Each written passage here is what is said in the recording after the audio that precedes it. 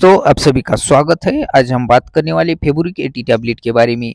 Feburic eighty tablet Ajanta Pharma द्वारा बनाया जाता है। इसमें फेबु स्टार्ट एटीएमजी कंटेंट है और इसकी मार्केट प्राइस एमआरपी लगभग तीन सौ छिहत्तर रुपये है। तो चलो इस वीडियो में जानती फेबुरिक टैबलेट के यूजेस साइड इफ़ेक्ट और सब कुछ। सबसे पहले जानती फेबुरिक एटी टैबलेट के यूजेस के बारे में। फेबुरिक एटी टैबलेट का इस्तेमाल गठिया के इलाज में किया जाता है।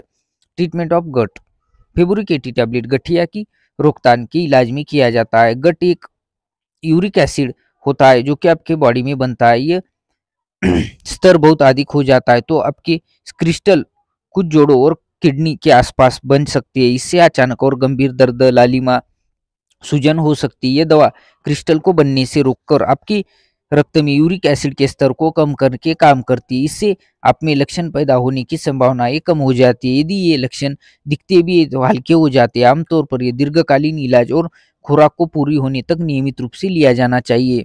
आप जानते फेबुरिक टैबलेट के साइड इफ़ेक्ट के बारे में। इस दवा से होने वाले ज़्यादातर साइड इफ़ेक्ट में डॉक्टर की सलाह लेने की ज़रूरत नहीं पड़ती और नियमित रूप से इसका सेवन करने से ये साइड इफ़ेक्ट अपने आप समाप्त हो जाते हैं। अगर साइड इफ़ेक्ट बने रहते हैं या लक्षण बिगड़ने लगते हैं तो अपने डॉक्टर से सलाह ली।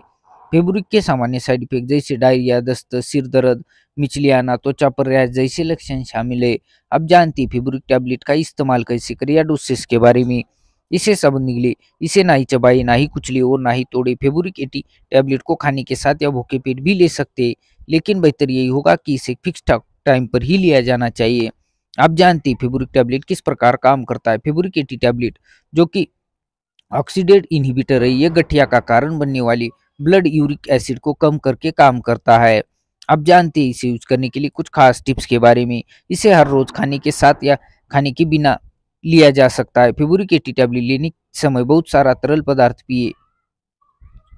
गठिया का दर्द बढ़ने और फेब्रिक एटी टैबलेट लेना बंद न करें, इससे अवस्था बिगड़ सकती है। डॉक्टर ने आपको गठिया के एपिसोड को कम करने के लिए फेबूरी की टैबलेट लेने की सलाह दी गई है। ये जानकारी आपको कैसी लगी दोस्तों? अच्छी लगी हो तो वीडियो को लाइक और चैनल को सब्सक्राइब करना न भूले। अंत तक देखने के लिए धन्यवाद दोस्तों। जय हिंद दोस्तों।